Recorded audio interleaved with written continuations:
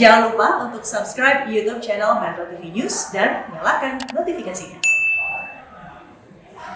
Pemirsa ekonomi Indonesia tumbuh 5,01 persen di triwulan 1 tahun 2022 jika dibandingkan dengan periode yang sama tahun lalu. Industri pengolahan menjadi sumber pertumbuhan tertinggi dengan kontribusi pertumbuhan 1,06 persen dari total pertumbuhan ekonomi.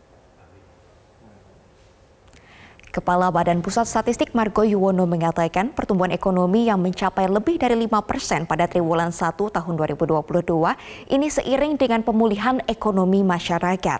Namun Margo Yuwono mengakui pertumbuhan ekonomi bisa mencapai 5 persen karena basis rendah tahun lalu atau low base effect, yang mana ekonomi triwulan 1 tahun 2021 terkontraksi 0,74 persen.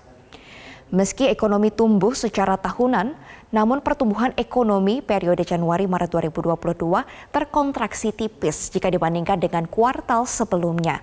Badan Pusat Statistik mencatat ekonomi Indonesia turun 0,96 persen jika dibandingkan dengan kuartal 4 tahun 2021.